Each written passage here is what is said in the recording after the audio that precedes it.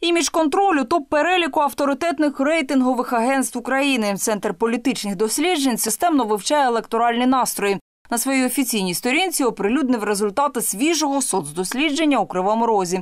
В період з 13 по 16 липня опитали 1600 криворіжців у всіх районах міста. Виявили, діючий мер Юрій Вілкул залишається безумовним лідером довіри городян, а до міськради можуть пройти представники шести партій.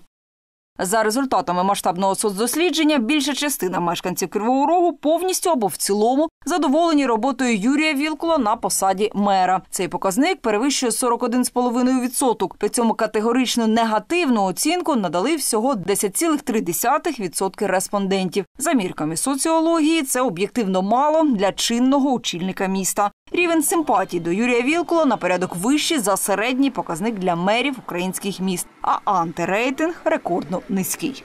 У порівнянні з ймовірними конкурентами Юрій Вілкул, блок Вілкула Українська перспектива, лідер підтримки серед всіх кандидатів на посаду мера у Кривому Розі 36,5%. Він значно випереджає найближчих конкурентів. Так, рейтинг Юрія Корявченкова, партія Слуга народу 17%, Костянтина Павлова самовисування 11,3%.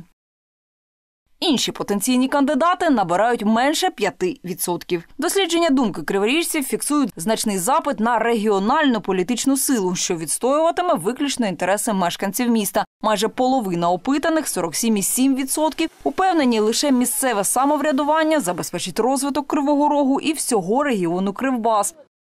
Що ж до розподілу політичних симпатій криворіжців, лідерами виборів до міської ради на сьогодні є партія Слуга народу 26,8% та блок Вілкула Українська перспектива 21%.